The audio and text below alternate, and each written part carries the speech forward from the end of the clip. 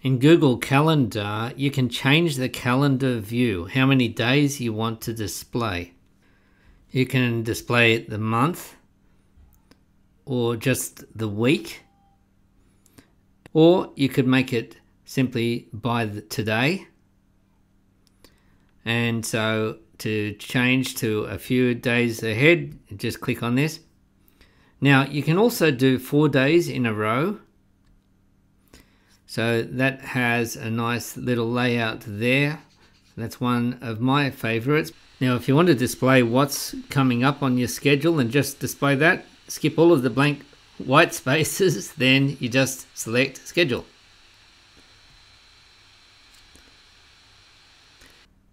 But another way that's not displayed here is if you want to customize the day. To do that, you select the settings wheel and the settings and then go to view options. And so this allows you to do things like determine when what day your week starts on whether you want to include week numbers show events that you have declined. And this is particularly interesting they display the shorter events the same as 30 minute events so that you don't have that jagged edge.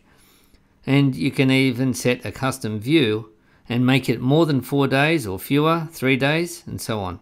Now we'll jump back and look at a couple more options here. You also get to change whether you want it in to change the text. If you want to change the color of an individual event, you can do that here.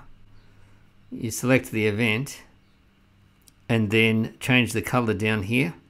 So I want to save this for all events.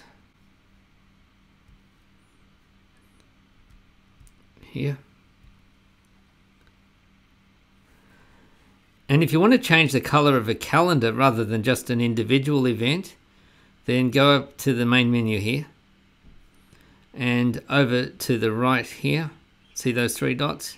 You click on there and that is where you can change your calendar settings and that will apply to all events except for the ones that you have already changed the color for.